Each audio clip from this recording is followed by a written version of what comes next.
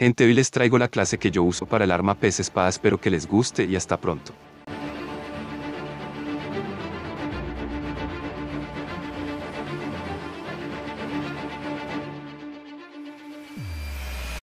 Gente, hoy les traigo la clase que yo uso para el arma pez espada, espero que les guste y hasta pronto.